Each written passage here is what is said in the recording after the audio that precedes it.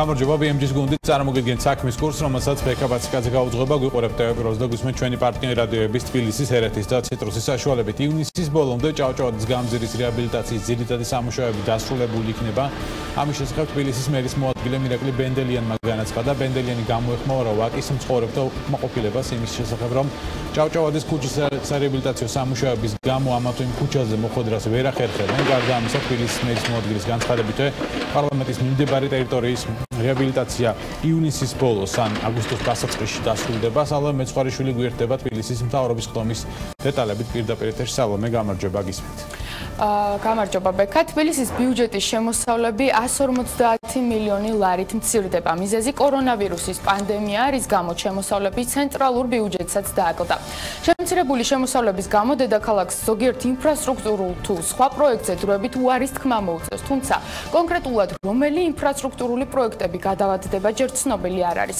მიმდინარე წელს თბილისის ბიუჯეტი მილიარდ 20 მილიონი ლარი იყო, აქედან 980 მილიონი საკუთარი შემოსავლები უნდა ყოფილიყო სხვადასხვა გადასახადებიდან, თუმცა როგორც ჩანს, სწორედ ეს რიცხვი მცირდება წელს 150 მილიონი ლარით.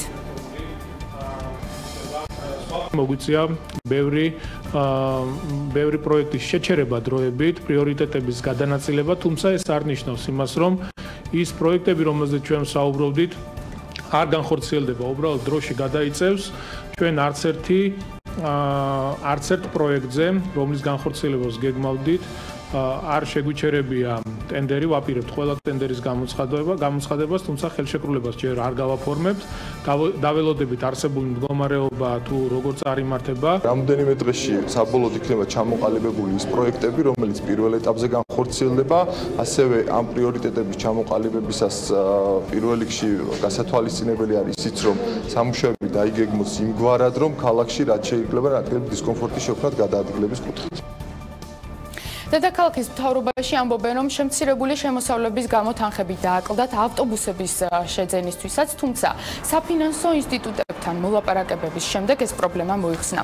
კონკრეტულად, რაოდენობის თანხა და რაზე დააკლდა თბილისს ამაზე დღეს დეტალურად არ უსაუბრიათ. სამაგიეროდ ითქვა, რომ თბილისის მერია ყვითელ მიკროავტობუსებს მაინც შეიძეს და უახლოეს დღეებში 300 ერთეულის შესყიდვაზე ტენდერს გამოაცხადებს. ამისთვის ცენტრალური ბიუჯეტიდან 35 მილიონ ლარს მიიღებენ. საუბარია ეგრეთ ეგრეთ წოდებულ ყვითელ მარშრუტკებზე, რომელსაც მერია კომპანია თბილისის მიკროავტობუსის ნაცვლად ყიდულობს. ტრანსფერის სახით დამატებითი თანხების წამოღების შესაძლებლობა მოგვეცა ცენტრალური ბიუჯეტიდან და ეს თანხები იქნება გამოყენებული მიკროავტობუსების შესაძენად.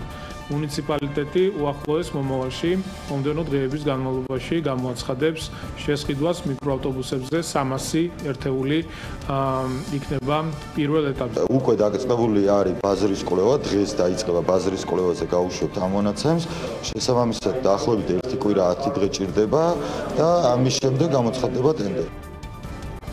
და ერთ-ერთი ყველაზე აქტუალური თემა უკვე ერთი წლის განმავლობაში, როდის დასრულდება ჭავჭავაძის გამზირზე სარეაბილიტაციო სამუშაოები. თბილისის მერის მოადგილე აცხადებს, რომ საგზაო სამუშაოები უკვე კვირის ბოლოსთვის დასრულებული იქნება, მთლიანად გამზირზე კი ივნისის ბოლომდე რეაბილიტაცია დასრულდება. ჭავჭავაძის გამზირის სარეაბილიტაციო სამუშაოები უკვე დასასრულს უახლოვდება. ჩვენ ვართ უკვე ბოლო მონაკვეთზე გადასულები, სადაც აქტიურად მიმდინარეობს სამუშაოები. მომდევნო კვირის ბოლოსთვის უკვე მთლიანად საგზაო სამუშაოები დასრულებული იქნება, ანუ დაახლოებით 20 რიცხვისთვის. რაც იმას ნიშნავს, რომ ამის შემდგომ საასფალტო სამუშაოები იქ უკვე სამუშაოები აღარ განხორციელდება, ეს იქნება უკვე დასრულებული. რაც შეეხება თვითონ ტროტუარებზე ციცით რომ მიმდინარეობს ბუნებრივი ქვით მოპირკეთება და ივნისისთვის ბოლოსთვის უკვე ტროტუარებიც დამთავრებული იქნება. თავრობის დღევანდელ ხდომაზე სხვა ინფრასტრუქტურული სამუშაოების შესახებაც ითქვა, მათ შორის აგეგმილია მოსკოვის გამზირზე არსებულ 2 კილომეტრიან მონაკვეთზე, სადაც ადრე ტრამვაის ხაზი გადიოდა, გამწონებული ზონების მოწყობა დღეს ასევე კახაკალაძე შეეხო მეტროში რეაბილიტაციის თემასაც, რომლის გამოც თბილისის მეტროპოლიტენი უკვე თითქმის ერთი წელია 11 საათზე ასრულებს მუშაობას. მერის განცხადებით სამუშაოები არ შეფერხებულა, ამიტომ საინტერესოა მოესწრება თუ არა მეტროს რეაბილიტაციის დასრულება 1 ივლისს, როგორც ეს დაანონსებული იყო. მადლობა სალომე მეცხარიშვილს განოგზავნოთ საქმის კურსს ეკონომიკის სამინისტრო მანაკლიის ღრმაწლოვანი ნავსადგურის განვითარების სააგენტოს ახალი დებულება დაამტკიცა დოკუმენტს ხელს მინისტრი ნათია თურნავა აწერს ახალ დებულებაში ძველისგან განსხვავებით ანაკლიის განვითარების კონსორციუმზე საუბარი აღარ არის. დავით ჯალაღონია გაეცნო იმ სრულებებს, რაც სააგენტოს დებულებას მის მიზნებს და ამოცანებს ძველი ვერსიისგან განასხვავებს. რატო გამარჯობა გისმენთ. მოგესალმებით ეკონომიკის სამინისტრო მანაკლის ღრმაწყლოვანი ნავსადგურის სააგენტოს ახალი მიზნები ძველი ინვესტორის გარეშე წარმოგვიდგინა. ეს არის იმ სახელმწიფო ორგანოს დოკუმენტი, რომელსაც ანაკლის სპორტის განხორციელების მონიტორინგი და მთავრობის მხრიდან დაგეგმილი სამუშაოების კონტროლი ევალება. დავიწყოთ იმით, რომ ამ სააგენტოს პირველი დებულება 2017 წელს დამტკიცდა, როცა მთავრობა ანაკლიაში პორტის საშენებას ანაკლის განვითარების კონსორციუმთან ერთად გეგმავდა. მას შემდეგ კი რაც მთავრობამ ამ ინვესტორთან ხელს ხელშეკრულება გაწყვეტა ხუთი თო გავიდა და ამჯერად ახალ დებულებაში ძველისგან განსხვავებით ანაკლის განვითარების კონსორციუმზე საუბარი აღარ არის. თუ 2017 წელს დამტკიცებული დოკუმენტის მთავარი მიზანი მთავრობასა და კონსორციუმის შორის გაფორმებული საინვესტიციო ხელშეკრულების მონიტორინგი იყო, ახალი დებულების მიხედვით სააგენტოს ანაკლის ღრმაწყლოვანი პორტის პროექტის განსახორციელებლად ინვესტორის შერჩევის პროცესის გამოცხადება და წარმართვა ევალება. სააგენტოს ფუნქციებია: ანაკლიის ღრმაწყლოვანი ნავსადგურის განვითარების პროექტის განსახორციელებლად მოქმედი კანონმდებლობით გათვალისწინებული ღონისძიებების განხორციელება, მათ შორის ინვესტორის შერჩევის მიზნით შესაბამისი შერჩევის პროცესის გამოცხადება და წარმართვა მოქმედი კანონმდებლობის შესაბამისად. შერჩეულ ინვესტორთან გაფორმებული საინვესტიციო საჯარო და კერძო თანამშრომლობის ხელშეკრულებით გათვალისწინებული ვალდებულებების შესრულების მონიტორინგი. ანაკლიის ღრმაწყლოვანი ნავსადგურის განვითარების პროექტის განსახორციელებლად საჭირო სხვა ფუნქციების შესრულება, მოქმედი კანონმდებლობის შესაბამისად. როდის აპირებს მთავრობა ახალი ინვესტორის შესარჩევი პროცედურების დაწყებას და რა ეტაპზეა ანაკლის განვითარების კონსორციუმთან ურთიერთობები ამის შესახებ დამატებითი ინფორმაციის მიღებას დღის განმავლობაში შევეცდებით. ბექა. მადლობა ეს დათო ჯალღონია იყო განოგზობ საქმის კურს დღეს მდგომარეობით კომპენსაცია დაახლოებით 400.000 ადამიანს აქვს აღებული ამის შესახებ თავდაცვის და უშუალოების საპარლამენტო კომიტეტის ხდომაზე ფინანსთა მინისტრის მოადგილე გიორგი კაკაურიძემ განაცხადა მისი თქმით საუბარია 300 ლარიან ასევე 1200 ლარიანი დახმარებიდან ერთი თვის კომპენსაციაზე 60000-ზე მეტი გადაწყვეტილებაა მიღებული და ახლობით 90000 განაცხადია, 3-4000 განაცხადი შემოდის ყოველდღიურად და პროცესი მიმდინარეობს. თითქმის ერთი თვეა დარჩენილი და ვფიქრობ ეს მოცულობა რაც არის დაგეგმილი 75 მილიონი საკმარისი იქნება ამ მიმართულებით. გიორგი კაკაურიძემ ეს განცხადება გააკეთა. მისი თქმით ყველას გაიგზავნა შეტყობინება. ვისი მობილური ტელეფონის ნომერიც ბაზაში იყო ასევე ინფორმაცია მიეწოდათ RSG სპორტალის მეშვეობით.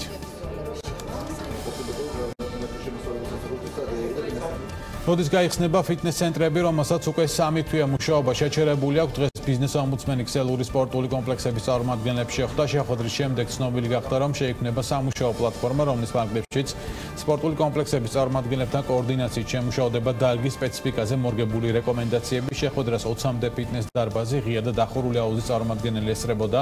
შეხვედრას ასევე ესწრებოდნენ ჯანდაცვის და განათლების სამინისტროს წარმომადგენლები. მათთან შევთანხმდით იმ პროცესზე, რომლითაც უნდა მივიდეთ, ესე ვთქვათ, კონკრეტულ რეგულაციებამდე, რომლებიც იქნება პრაქტიკაში აღსრულებადი და რომელთა დაცვითაც მოხდება სპორტულ გამაჯანსაღებელი კომპლექსების გახსნა და ბიზნეს სამსექტორის ამუშავება. დენიუასია თვითონ ამ სფეროში, ამ ინდუსტრიაში, რომ აუცილებლად ერთი შეხვედრით ესე ვერ გადაწყდება და იმიტომ რომ ის რეკომენდაციები, რომელიც ჩამოთვლების დაცვის სამინისტროდან არის გამოსული, ეს უნდა სამუშაო ჯგუფის რეჟიმში დადგინდეს. ვერავითარ შემთხვევაში ვერანაირი ტურისტის მიღების ფასად ჩვენი მოქალაქის ჯანმრთელობას კითხვის ნიშნის ქვეშ ვერ დავაყენებთ. ეს არის ყველაზე მნიშვნელოვანი ამის შესახებ პრემიერ-მინისტრმა გიორგი გახარიამ განაცხადა. მისი თქმით, ისრაელიდან ტურისტების მიღებაზე მიღწეული შეთანხმება აღნიშნულ ქვეყანაში არსებული ეპიდსიტუაციის გაუარესების გამო არ გაფორმდა. როგორც გახარიამ აღნიშნა, ტურიზმიდან შემოსული იმპორტირებული ინფიცირება ქვეყანას შემდგომ შეიძლება იმდენი დაუჯდეს, რომ არანაირი ფასი იმ ტურისტს არ ექნება. ბოლომდე გვაქვს მიყვანილი ხელმოწერის დონეზე ისრაელთან შეთანხმება ტურისტების ისრაელიდან შემოყვანაზე. წვანე კორიდორი პირველი ვისთანაც დავალაგეთ, დავალაგეთ ისრაელთან. მე პირადად ესაუბრე პრემიერ-მინისტრს და აი ყველაფერი მზად იყო. ზუსტად ერთი კვირის წინ ისეთი დაიწყო იქ. უბრალოდ ეპიდემიოლოგიური სიტუაცია აფეთქდა და ნუ ათასობით ადამიანი გადაყავთ კარანტინში. ჩვენ ვერც ერთ შემთხვევაში ვერანაირი ტურისტის მიღების ფასად ჩვენი მოქალაქე ჯანმრთელობას კითხვის ნიშნის ქვეშ ვერ დავაყენებთ. ეს არის ყველაზე ყველაზე მნიშვნელოვანი. ყველაფერს თავი რო დავანებოთ, ტურიზმიდან შემოსული იმპორტირებული ინფიცირება შემდგომ ქვეყანას შეიძლება იმდენი დაუჯდეს, რომ არანაირი ფასი იმ ტურის არ იქნება.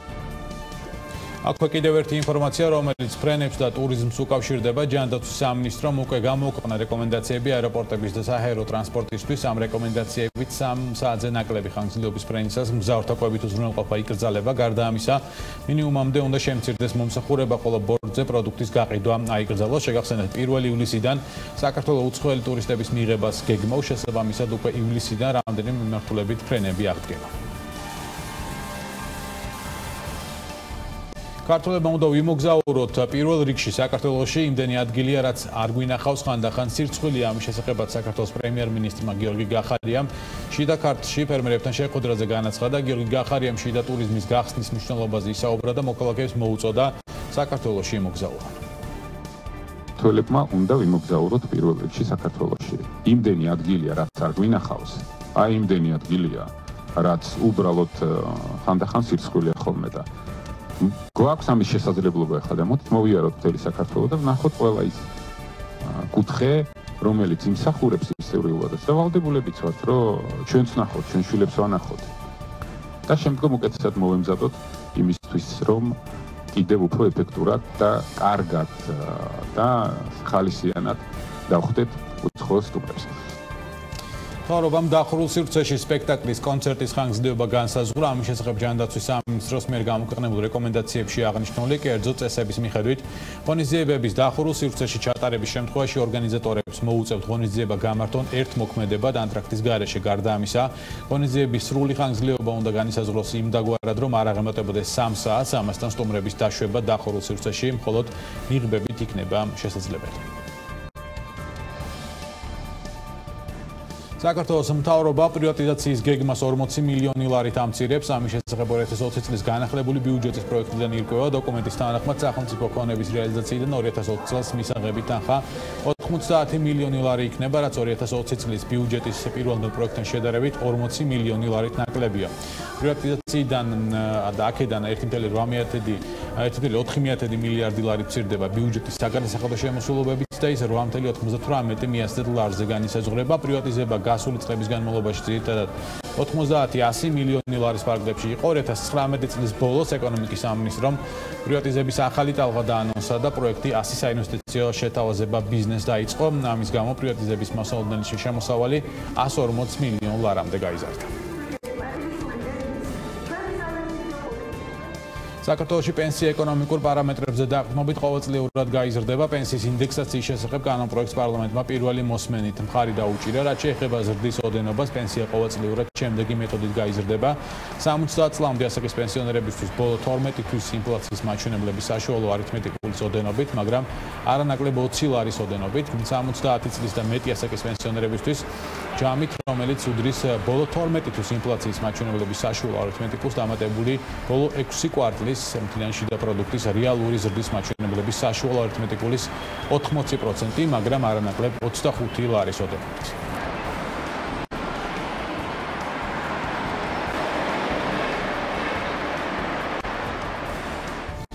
უცხოეთის სიახლეებზე გადავინაცვლოთ Forbes-მა ყველაზე მაღალ ანაზღაურებადი ცნობილი ადამიანების სია გამოქვეყნა. მათმა ჯამურმა შემოსავალმა 6.1 მილიარდი დოლარი შეადგინა რაც 2019 წლის შედეგებთან შედარებით 200 მილიონით ნაკლებია. გამოცემის მოსაზრებით კლებაზე ახალი კორონავირუსის ეპიდემია მიმოქმედა. ყველაზე მაღალ შემოსავლიანი ცნობილი ადამიანების სიის სათავეში კაილი ჯენერი და კენი ვესტი მოხდნენ კაილი ჯენერის შემოსავალმა 590 მილიონი დოლარი შეადგინა ხოლო კენი ვესტის 170 მილიონი დოლარი.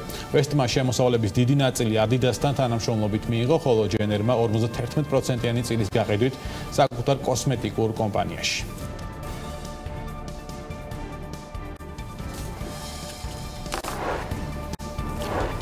საქმის კურსი ამი დასრულებულია წინგელი დღის ამბები 14 საათზე ჩვენ საღამოს 17 საათს და 40 წუთზე შეხვდებით ერთმანეთს დროებით.